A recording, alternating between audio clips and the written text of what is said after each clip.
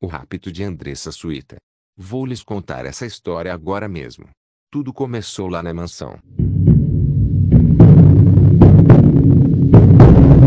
Ela estava em sua vida, como de costume. Trabalhando muito, pois, assim que é, a rotina de Andresso e também do Gustavo Lima.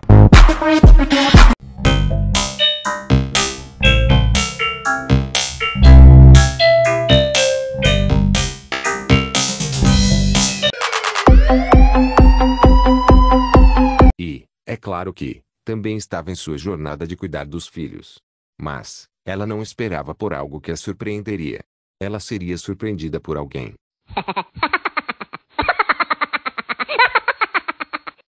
Esse foi o dia que eu invadi a casa do embaixador.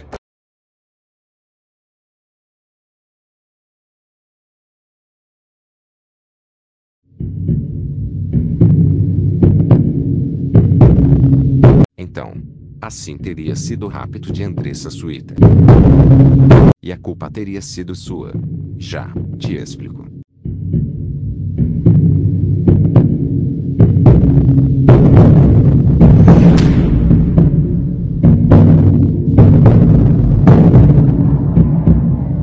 Ela foi introduzida na lata gigante da bebida vermelhão do Gustavo Lima.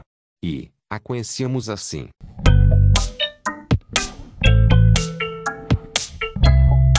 Mas, agora, ela sairia assim.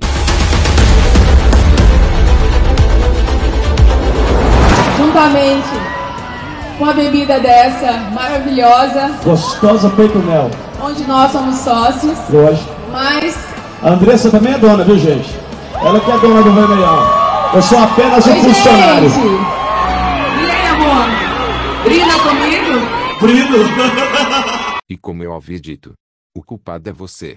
E vou mostrar agora o verdadeiro motivo do rapto de Andressa Suíta, para ela surgir em pleno palco do maior boteco de todos os tempos. O Boteco Goiânia. Boteco do Embaixador, em pleno aniversário. Onde seu presente foi Andressa Suíta, loira.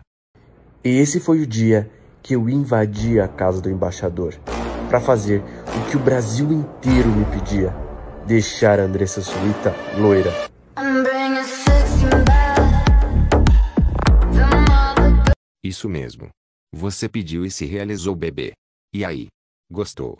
Então já deixe o seu melhor comentário para o casal mais amado do Brasil e não esqueça de compartilhar esse vídeo em todas as suas redes sociais e grupos de WhatsApp. Até mais bebê.